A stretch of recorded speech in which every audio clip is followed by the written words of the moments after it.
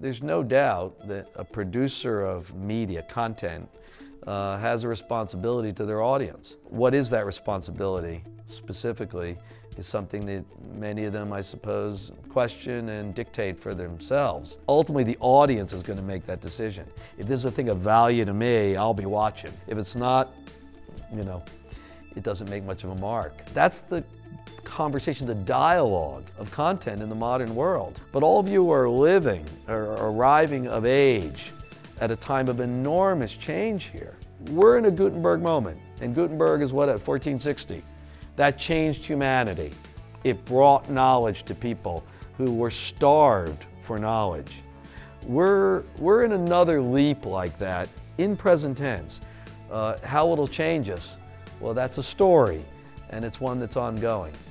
You know, narrative is the big fancy word for story, has now arrived at the adult table of academic pursuits, of disciplines, of study, and of recognition that we as humans are the storytelling animal. That's what we are, always have been.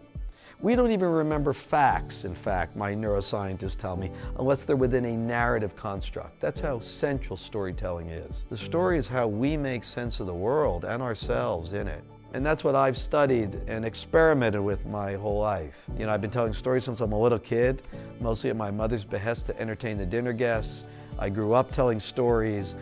It's amazing, you know, whatever you think about the U.S. economy, the idea that I can make a living telling stories shows that it's working in this one little way. And, and as a journalist at the Wall Street Journal, predominantly over 10 years, I arrived as a traditional reporter. You know, give me the facts in a nice pyramid structure, the biggest facts up top, finish with what you have left before you got to cut. And more and more I began to realize that narrative, that story, capital S, was the way to, to really tell something much more complex than any fact can reveal. Uh, and that's what I, I did for many years. I have a rule, and it's a rule I've used in my newspaper writing, my books, six books now, the stuff I do on camera.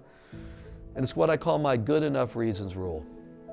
That people do what they do for good enough reasons. Good enough that intent flows to action, the thing you can see. They may not be your reasons or mine. Some of them may be repugnant to, as that individual may be, in fact, based on what you're taught and how you're conditioned to see the world. And that's where story lives. And all of a sudden, where do they end up? Beyond swift judgment, maybe beyond judgment period in many cases. And you start to understand, I get it now. I see why they do what they do, why they see what they see. And I see that they're not that different from me. Well, I think a big part of properly representing folks with disabilities, specifically in this case, autism, is understanding human behavior and recognizing that we as human beings make snap judgments. You know, it's hardwired in us. We're now, though, in a world in which we are pushed together.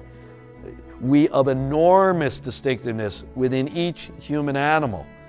And the question is, how do we manage these instincts in a way where we're not tearing each other's throats out, in which we're not constantly in conflict, and instead finding what is, of course, deeper than what divides us, which is what we share.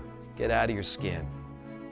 Get into the shoes of this person the most unlike they are to you, the most distinct and different, the better.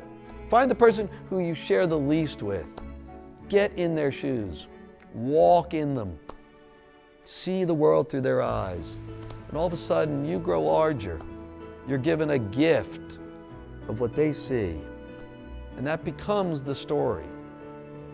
It's not probably what you thought you were going to get walking in because you're seeing them from the outside you know, and even when you do get the thing you're looking for and you go, oh, perfect, all right, oh, that's what I want.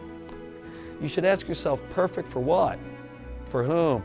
For what goal? What outcome? That's what great narrative does. It pushes through, doesn't discount what divides us. It finds a way to own it, and through it, dig to the deep aquifer, the deep subterrane of what we all share that makes us identical to one another. That's what story's about.